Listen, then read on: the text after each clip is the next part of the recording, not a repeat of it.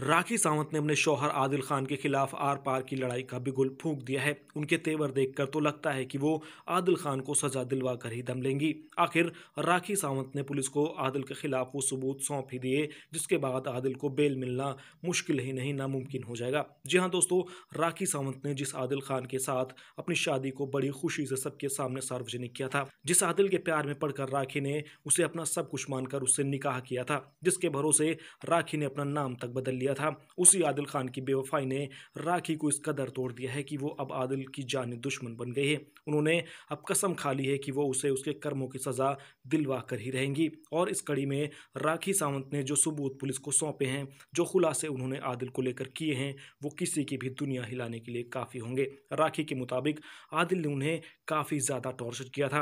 उनके सारे पैसे भी हड़प लिए थे। यहाँ तक कि वो अश्लील वीडियोस बनाकर उन्हें ऑनलाइन बेचा करता था। इन सनसनीखेज खुलासों के साथ राखी ने सबूत भी पुलिस को सौंपे हैं। राखी के वकील की माने तो इन सबूतों के बाद आदिल को जमानत मिलनी लगभग नामुमकिन हो गई है। उन्होंने आगे बताया है कि वो अभी और सबूत जुटा रहे हैं, जिससे कि आदिल के खिलाफ केस को और स्ट्रॉन्ग किया जा सके। दोस्तों, आपको बता दें कि हाल ही में राखी ने अपने शौहर के खिलाफ पुलिस में शिकायत दर्ज करवाई थी, जिसके बाद पुलिस ने आदिल खान को गिरफ़्तार कर लिया था। जिसके बाद कोर्ट ने आदिल खान की जमानत याचिका खारिज कर उसे जेल भेज दिया है। दोस्तों पूरे मामले पर आपकी क्या राय है? कॉमेंट बॉक्स में हमें ज़रूर बताएँ और ऐसे फ्यूचर अपडेट्स के लिए हमारे चैनल को सब्सक्राइब भी करें।